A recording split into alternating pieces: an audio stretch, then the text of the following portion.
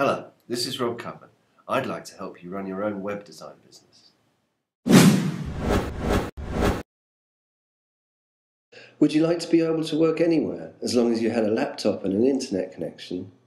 Would you like not to be tied down to the 9 to 5 routine or working for someone else?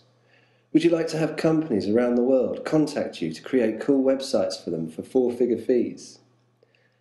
My name's Rob Cubbon, and I've been running a web design business for a few years now, and I know you can too.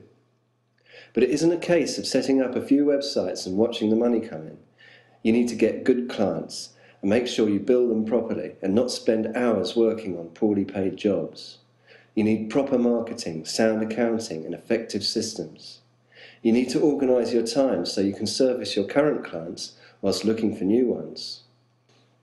You need to attract the good quality clients with money to spend whilst identifying and getting rid of time wasters quickly.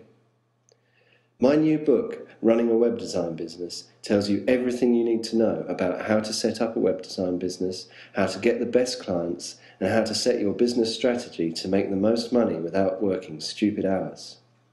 I explain what you need to set up your new company.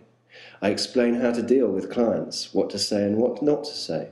I even have passages that you can copy and paste into your own client emails. I explain what to charge for certain jobs and how to specialize and branch out. I also surveyed over 35 different independent designers to canvass their opinions on how much you should charge, how much time you should spend marketing, and how you should get work, and much more. And finally, I'm so confident you'll find this ebook useful, I'm offering a 60 day, no quibble, money back guarantee so that if at any point in the next two months after purchasing you are unhappy with this product, you can simply let me know and I'll give you your money back, no questions asked.